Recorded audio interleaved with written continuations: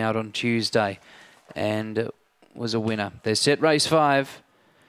Racing now, Talopia pinged. CJ's Fun missed it. Fast Arrows mid pack. Talopia's dashed away early from Big One Seven. Third early, Patricia Lee. CJ's Fun looking for an inside run and getting it. Then Fast Arrow, swaying Gumtree, No Love and Elsavic. Leader Talopia out by four. Big One Seven. CJ's Fun builds momentum but gives the leader five lengths. It's Talopia turning with a big lead. CJ's Fun was taken a little bit wide and Talopia's too good off the inside draw. CJ's Fun gallant in defeat. Big one, seven, a nice run as well. Fourth, no love.